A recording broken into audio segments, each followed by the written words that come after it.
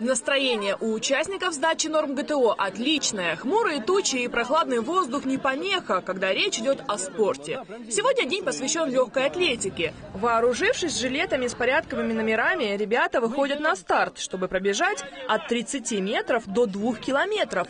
Каждой дистанции свой возраст, ведь сдавать нормы ГТО можно с 6 лет и до глубокой старости. Самый первый этап пройден, и намного легче стало. Готовить детей и взрослых к труду и обороне в Ленинском районе начали около двух лет назад. Именно столько на территории муниципалитета работает Центр тестирования ГТО, сотрудники которого и организуют сдачу нормативов. Некоторые из этих этапов могут проходить в помещении, с легкой атлетикой сложнее, поэтому пока погода не испортилась, все желающие протестироваться собрались на стадионе «Металлург», чтобы пополнить свои личные копилки спортивных достижений достижений. Физкультура это всегда полезно, а комплекс ГТО, он как бы показывает уровень подготовленности людей, да, то есть если ты получил знак, это некий, э, некое признание твоих физических возможностей, твоих спортивных достижений.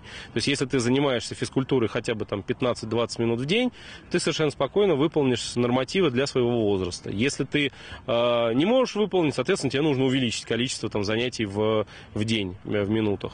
Сейчас, в отличие от советских времен, сдавать нормы ГТО не обязательно, однако молодежь активно примыкает к этому движению. Во многом это связано с тем, что успешно сданное тестирование дает дополнительные баллы при поступлении в высшие учебные заведения. У меня как раз сейчас такой возраст, когда уже пора задуматься о поступлении, а лишние баллы никогда не будут. По-моему, молодежь сейчас больше тянется к спорту, и все идет новым рекордом, потому что она осознает, что она новое поколение, а значит, если новое поколение, значит, новая надежда. А чтобы стать обладателем золотого значка ГТО, необходимо сдать 4 обязательных норматива и 4 на выбор, получить в каждом из них соответствующее возрасту количество баллов и сделать все это надо за определенный промежуток времени. Для взрослых календарный год, для школьников год учебный. Юлия Погосян, Константин Брылов, Ольга Садовская, Виднет ТВ.